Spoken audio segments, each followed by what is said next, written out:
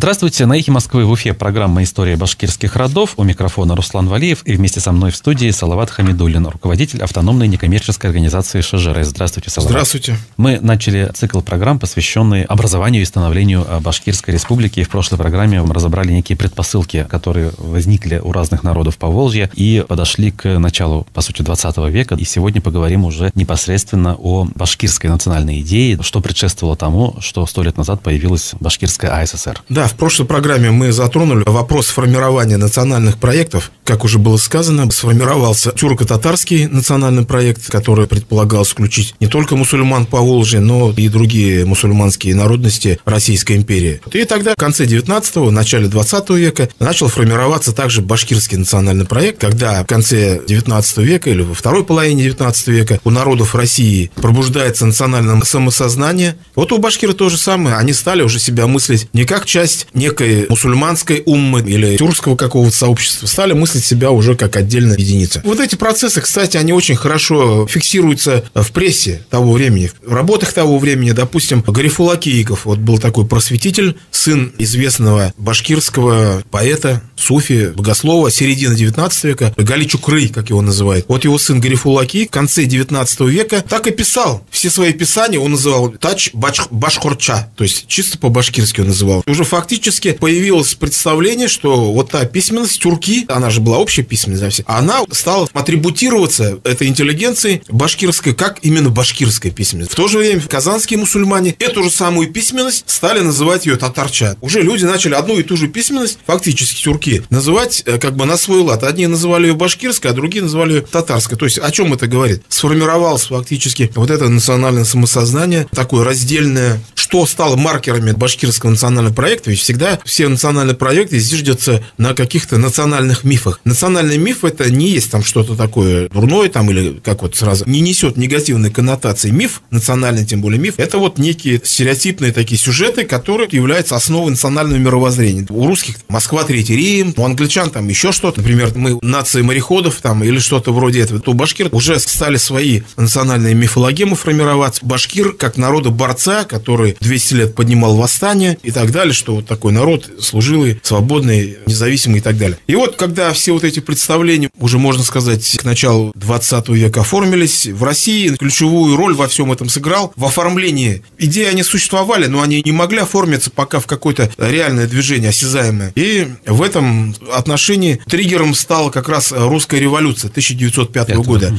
Тогда все пробудилось. Ну, эту революцию, как известно, подготовили не большевики, не еще кто-то, а подготовили эсеры и кадеты. Даже, можно сказать, большая роль была кадетов. Началось революционное движение, и вот, как известно, 17 октября 1905 года знаменитый манифест Николая II, который положил начало конституционной реформе, объявлялись всяческие свободы, потом возникла Государственная Дума, и тогда же в 1905 году возникает первая мусульманская партия, общемусульманская, она включала все народы Российской империи, и туркестанцев, и азербайджанцев, и башкиры, и татар, и так далее. Возникает партия Иттифак аль-Муслимин, Союз мусульман. Можно сказать, с этого момента и фактически вот эти национальные движения, они получили уже реальное оформление. Партия это Итифак Аль-Мусульмин была на кадетской платформе. Они, как кадеты, кто это? Это конституционные демократы, которые выступали за либеральные ценности, но при этом за сохранение монархии. Такая конституционная монархия, одним словом, хотели там из России сделать Англию. Такую же ограниченную монархию, ну и со всеми свободами и так далее. Незыблемость частной собственности. А в национальном вопросе культурно-национальная автономия для народов в рамках рамках неделимой России. В 1906 году состоялись выборы в Первую Государственную Думу. И вот из этих мусульманских депутатов, многие из которых представляли именно вот эту Итифак аль-Мусульмин, была сформирована мусульманская фракция Государственной Думы. Уже, так скажем, началась вот такая парламентская обкатка, закалка вот этих бойцов политического фронта в этих дебатах. И вот, кстати, от Башкирии, можно сказать, от э, Уфимской губернии один из депутатов был Шах Айдар Сартланов, известный башкирский дворянин Белебеевского уезда. Он жил в деревне Шланлык Куль Буздякского нынешнего района. Он известный был огромный вотчинник, у него были огромные земельные владения. Он был офицером, служил. Его сын тоже был офицером, Али Аскар Сартланов. Что касается отца, вот в то время, поскольку он был дворянин, предводитель дворянства какое-то время, и вот у него любимый это был конек в Государственной Думе, это вот защита башкирских земель. Каждое свое выступление он начинал, расхищаются башкирские земли. Даже в Госдуме к нему прилепилось прозвище «Башкирская земля». Когда он заходил, и там все депутаты, вон, вон,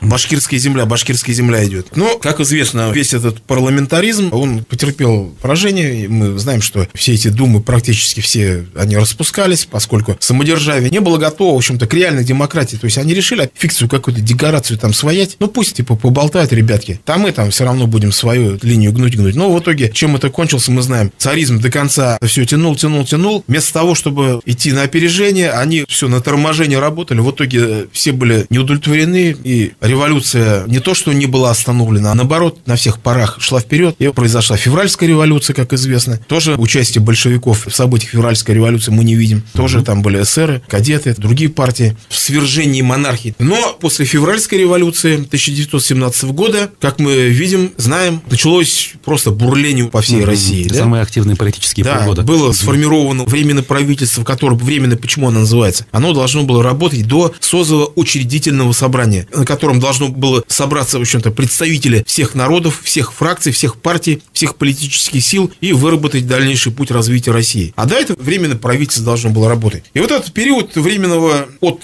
февраля, когда вот временное правительство до конца, в России был, наверное, самым либеральным периодом в истории России. То есть была свобода полная. Полиция практически отсутствовала. То, что хочет Павлецкого подрова. И мусульмане тоже не отставали от этих тенденций, от этой внезапно свалившейся свободы. И 1 мая 1917 года в Уфе был созван первый Всероссийский съезд мусульман. На этом съезде как раз вот и со всей очевидностью наконец-то проявились все разногласия внутри до этого внешнего единого мусульманского движения. То есть собраться собрались, но начали высказывать Да, ну потому что до этого мусульманская фракция все это скрашивалось, и вроде внешне казалось, что все они одинаковые, примерно права одни и те же. И вот на съезде обозначился раскол, поскольку всем стало ясно, что уже конституционная монархия российская, которую до этого провозглашалась, ее уже нету, этой монархии. И всем было ясно, что будет Российская Республика. Кстати, временное правительство, оно же провозгласило mm-hmm. Российскую Республику. А тоже вот этот факт упускается. Она фактически была провозглашена. И вопрос стал, что с этой Российской Республикой делать, как она будет выглядеть. Естественно, вопрос о том, какой она должна быть. Федеративной или не федеративной. Унитарной, но, в общем-то, с культурной национальной автономией. Мулаян Халиков, будущий член башкирского правительства, ну тогда, кстати, он никому еще неизвестный человек, что писал уже много много позднее. На первом мусульманском съезде в мае 1917 года башкиры выступили как сторонники территориальной автономии, территориального самоопределения, в отличие от татар, которые являлись руководителями мусульманского движения в тогдашний период и требовали лишь культурно-национальной автономии.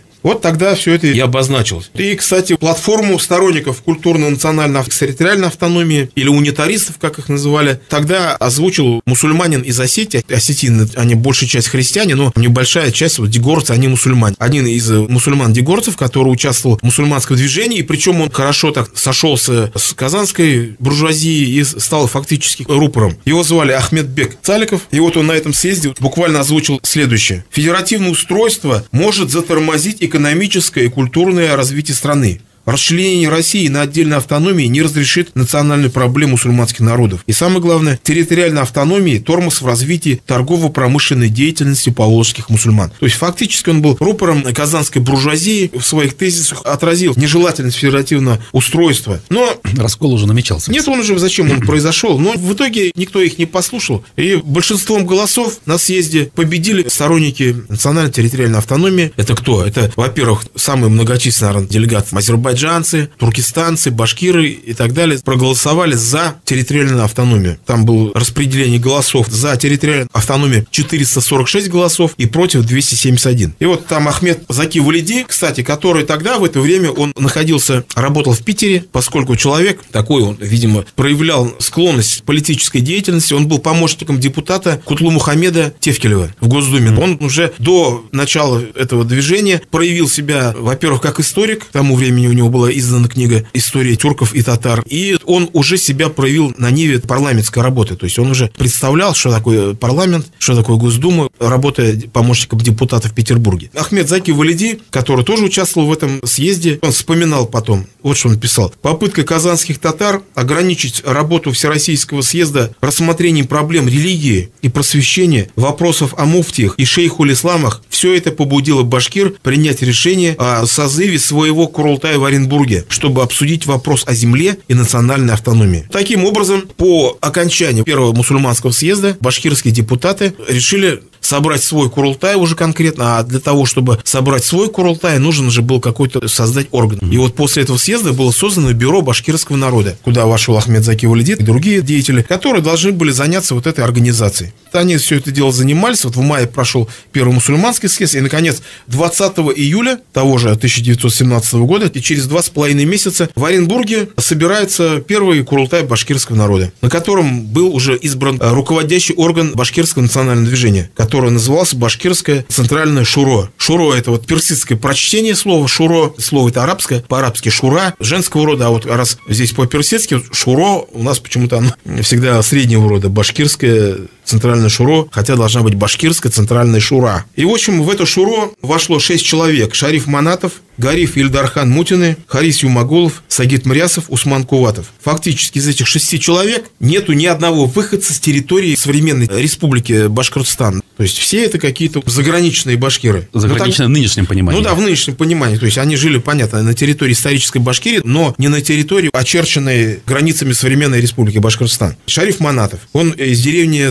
Тангрыкулова. Это Альменийский район Курганской области. Гариф Ильдархан Мутины, два брата. Это деревня Такталачук. Это сейчас Актанышский район Татарстана. Харис Юмагулов. Это деревня Эмилеева Самарской области. Сагит Мрясов. Деревня Мрясова тоже один из районов Оренбургской области. И вот только один Усман Куватов с территории нашей республики. Вот, Ахмед Заки Валиди не вошел в Центральное Шуро. Он, кстати, выдвигался на мусульманский съезд от туркестанцев как представитель туркестанцев, он был очень сильно с ними связан во время своих этнографических путешествий, изысканий в Туркестан. Оттуда выдвигался, и вот он как раз в это время курсировал между Ташкентом и Петербургом, занял был больше делами туркестанцев, поэтому он не вошел в состав башкирского шуро первого состава. Далее второй всебашкирский Курултай буквально через месяц второй башкирский Курултай, представляете? В августе уже. Да, уже 25 августа был создан второй башкирский Курултай. Это, видимо, было связано с тем, что в это время в городе Уфе проходил съезд национальное управление тюрко-татар. С тех пор, после Первого мусульманского съезда, там тоже определенная эволюция произошла в их движении. Вот было создано национальное управление тюрко-татар. Они тоже уже стали склоняться к идее территориальной автономии, потому что они уже видели, процесс не остановить. И, значит, уже начали делать вот этот проект создания автономии тюрко-татар, куда тоже они хотели включить и Башкирию. Там разные были проекты из двух штатов, чтобы состоял Казанский штат, штат Идель-Урал, вот Казанская часть и Уфимская часть. Столица они хотели провозгласить Уфу. Но планировать они планировали, но дело в том, что уже башкиры не были согласны на организацию двуединого штата. И вот когда в Уфе они собрали свой съезд тюрко-татар, и вот тогда, видимо, башкиры буквально через месяц после первого Курултая также в Уфе собрали второй башкирский Курултай. И вот они, кстати, начали ходить друг к другу, посещать съезды. Тогда, кстати, деятели тюрко-татарской автономии, вот, например, тот же там Хади Атласов, все-таки они не оставляли последних судорожных попыток перетащить на свою сторону башкир. Вот, например, Хади Атласов пришел и вот говорил, хотя я и Мишар, но самым любимым моим племенем являются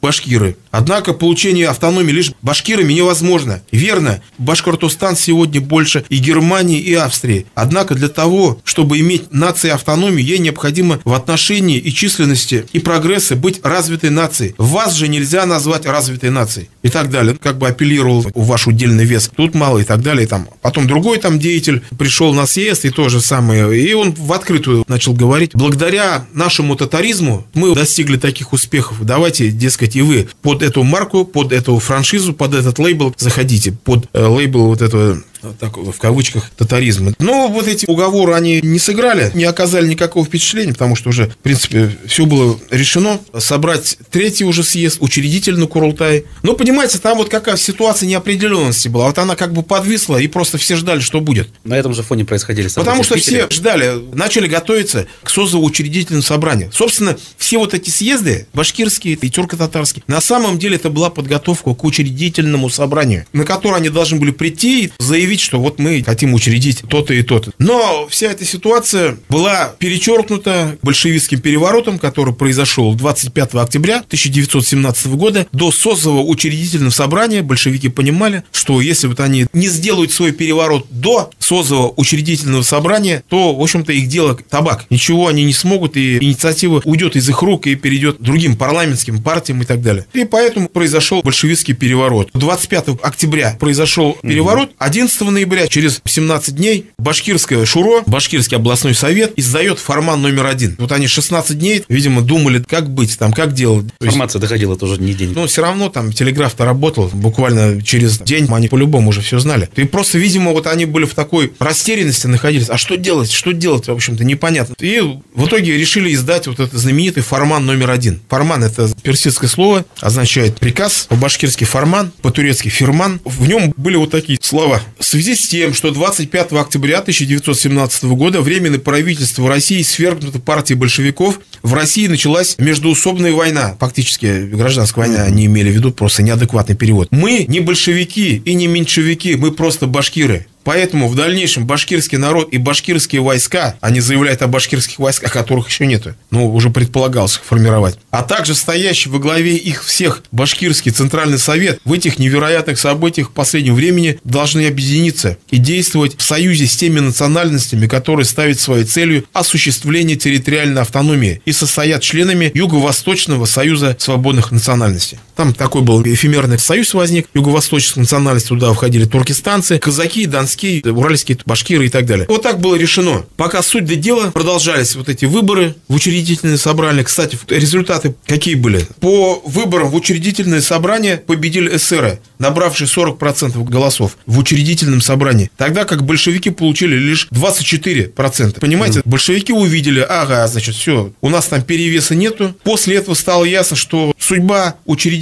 собрания, она такая будет плачевная и ни к чему это не приведет. В итоге 15 ноября ноября 1917 года, через 4 дня, буквально на следующий день, после того, как закончились выборы в учредительное собрание, и буквально в этот же день, 15 ноября, атаман Дутов, который прекрасно понимал, что вот этот расклад выборов в учредительном собрании нисколько не устроит большевиков, захватил в Оренбурге власть, выбил оттуда отряд Красной Гвардии, и буквально вот в этот день Дутовского переворота э, в Оренбурге Башкирский совет издает фирман номер два, который провозгласил автономию Башкортостана. Автономия была провозглашена 15 ноября 1917 года. Вот она, первая дата. Вот. То есть это, видите, когда, чтобы логика была понятна. Большевики, это не сами они, башкиры, они хотели дождаться учредительного собрания, чтобы парламентскими методами все по-человечески сделать. Большевистский переворот, а потом переворот уже в Оренбурге осуществленный казаками Дутова, вынудил их издать форман номер два. Вот что там было написано. Башкирский областной совет объявляет территорию Оренбургской, Уфимской, Самарской и Пермской губернии всего 15 ноября автономной частью Российской Республики и приступает к фактическому осуществлению автономного управления Башкирией. В тот же день они встретились с атаманом Дутовым, газету «Башкорт», что писала в то время, в тот день. Шариф Манатов и Ахмед Заки Валидов побывали у атамана Дутова. Казачий атаман высказался о своем желательном отношении к созданию автономного Башкортостана и публично объявил перед своим штабом об этом. А что писал Эдвард Карр, сотрудник МИД Великобритании, профессор Оксфордского и Кембриджского университетов? После того, как в Петербурге совершилась Октябрьская революция, Башкирский совет провозгласил себя автономным национально-башкирским правительством, осудил большевиков и заявил, что он не принимает автономии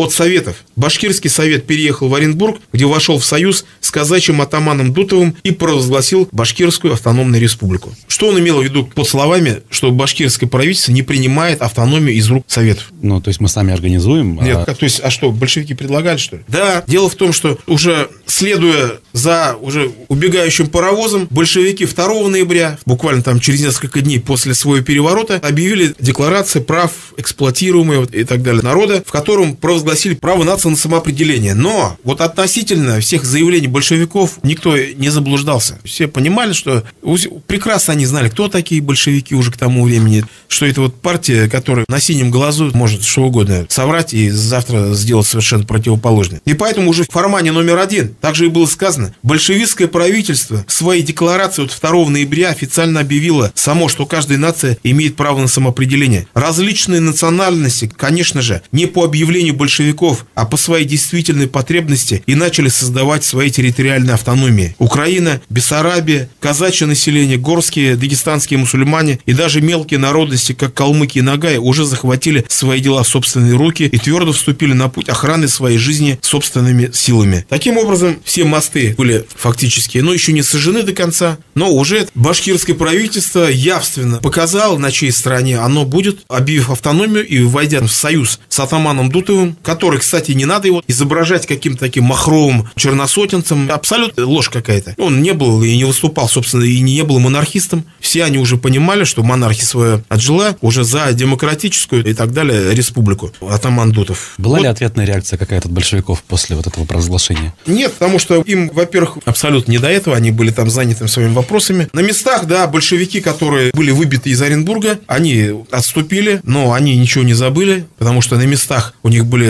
свои сильные вожди, даже братья Кадамцевы, да, здесь в Уфе, известные боевики. Они начали это формировать по всему Южному Уралу из бывших отрядов БНВ, боевой отряд народного вооружения, отряды Красной Гвардии. Отличные боевики, которые зарекомендовали себя еще до революции в знаменитых эксах, нападениях на поезда почтовые, знаменитый Демский экс, когда они бомбанули 500 тысяч рублей, взяли вот этот поезд почтовый, и потом на эти деньги Ленин провел лондонский съезд партии и там безбедно проживал в эмиграции в Швейцарии и так далее. То есть это были закаленные бойцы, которые начали в ответ на Дутовскую, как они называли, авантюру, формировать отряды гвардии, и фактически, можно сказать, в конце 17 года в Оренбургской губернии тогда еще началась фактически гражданская война. В этой ситуации 8 декабря по новому стилю, по старому стилю, там это чуть позднее, в Оренбурге собрался третий учредительный Курултай башкирского народа, который утвердил вот эту провозглашенную автономию. Был создан предпарламент. Предпарламент, его цель какая была? Поскольку тогда мыслилось именно как парламентская республика, предпарламент, то есть как бы не до парламента, он должен был организовать уже башкирское правительство там, и другие органы власти. Mm-hmm. И вот в предпарламент уже вошел и уже Ахмед Заки Валиди и так далее, и другие деятели башкирского национального движения.